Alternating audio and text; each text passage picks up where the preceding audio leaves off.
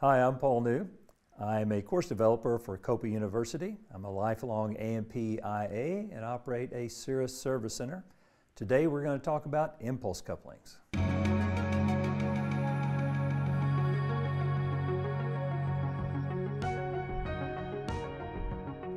The engines we have on our Cirrus aircraft are pretty old technology and the starting process is another part of the old technology. We have magnetos installed, which are really old technology. Uh, and they don't change timing, they don't do all kinds of cool electronic things like our cars do. Everything's mechanical.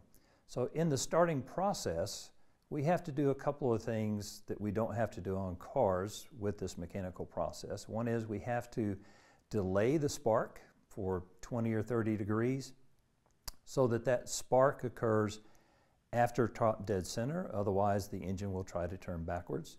And the magneto needs to turn at a pretty fast rate to create a nice bright spark. So I have a magneto here.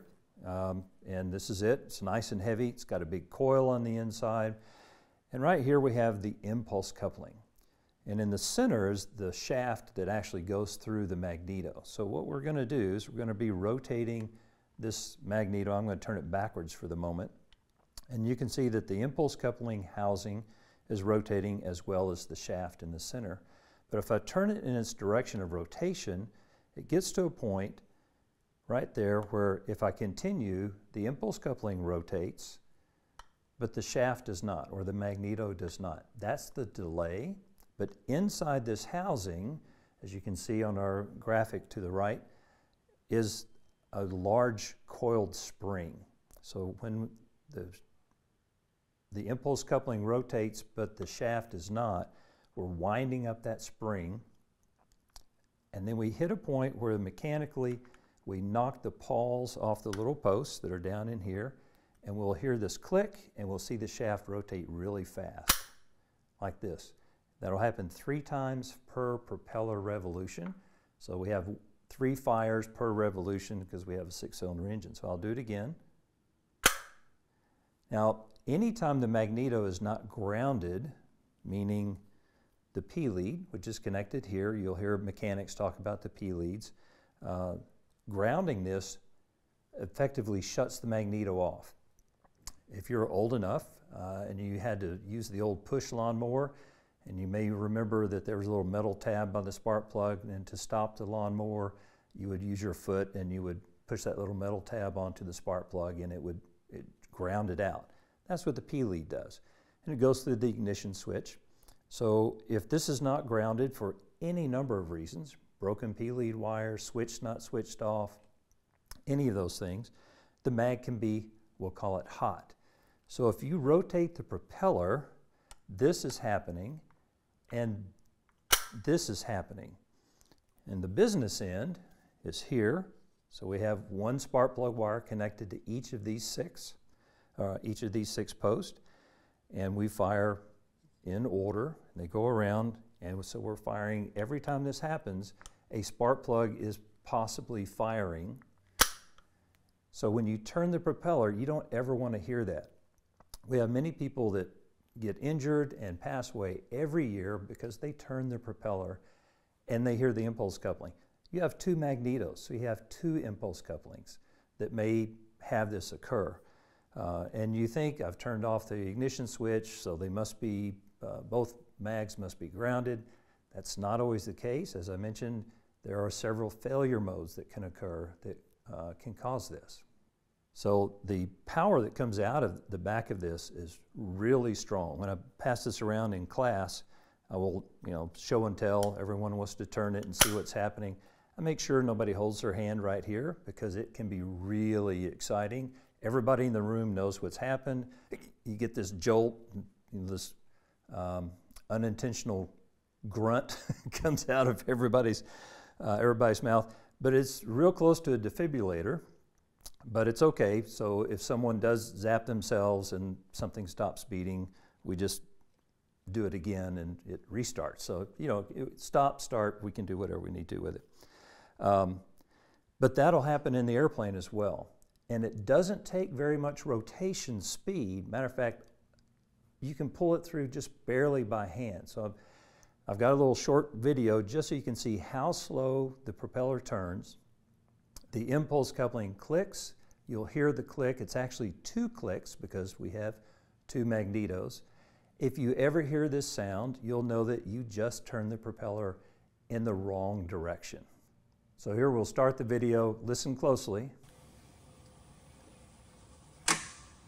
Just barely turned it. That's all it takes to start the engine. One or two spark plugs could have fired. There's always air. There's always fuel in a cylinder. And all you have to do is add the third component, which is a spark. And it doesn't take much, and that blade will turn right over. The engine may not start, but it only has to fire once to do some serious physical damage.